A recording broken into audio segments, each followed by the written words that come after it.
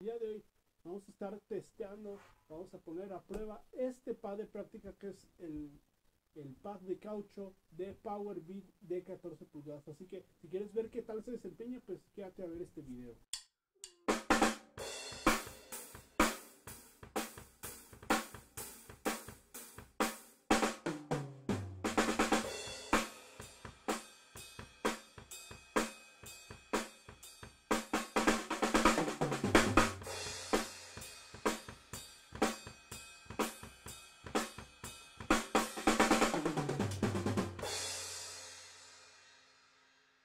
Bien amigos, para, ah, les voy a platicar cuáles son las características de este pad de práctica. Este es el Power Beat. Aquí por ejemplo si le alcanza a apreciar la marca, aquí lo enfoco lo más posible, ahí está, es un Power Beat. Es hecho en Taiwán, este es un pad de práctica que está 100% eh, hecho de caucho. Este pad en cuanto a diseño eh, creo que es más bien una imitación eh, de lo que es el pad de práctica que es el Vacuum Practice Pad de Ludwig. Eh, les voy a poner ahí la foto para que ustedes eh, identifiquen cuáles. Hay diseños clásicos, hay pads, por ejemplo, de práctica de este tipo que hacía Ludwig en la década de los 60, en la década de los 70 y, nos, y me parece que ya los dejaron de hacer pads de práctica de este tipo porque ya hay demasiados. Pero en fin, eh, ¿Qué tiene este pad de práctica? Pues está 100% hecho de caucho y está diseñado para que coloquemos en nuestra tarola de 14 pulgadas de esta forma.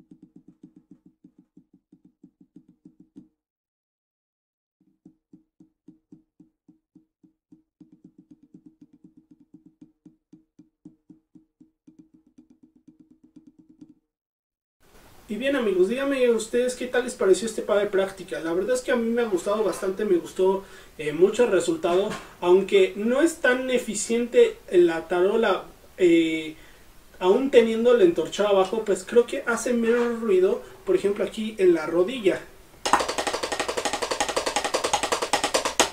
Este difícilmente se desliza porque precisamente es caucho y lo tienes contra tela, ya sea de tu pantalón o de un short pues básicamente aquí se, no se desliza pues básicamente nada.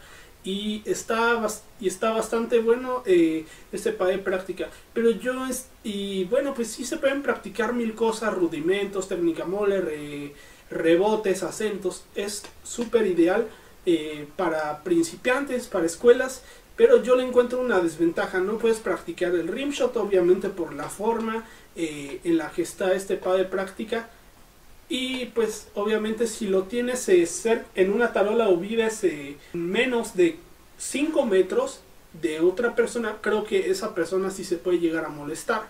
Entonces, si vives solo, si practicas solo, si estás solita en tu cuarto, pues este pad de práctica sí es una buena opción ideal para ti que, que buscas un buen pad a, un muy buen precio. Este pad ronda de, de los 4 a los 10 dólares americanos. No, de, también depende de si en sus países manejan manejen esta marca que es Power Beat.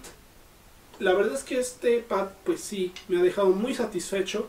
Aunque no es el mejor en comparación con, con otros como los Dorado Pads, con Big Firth, con el Real Feel. Pues es un pad que obviamente cumple su función eh, bastante bien.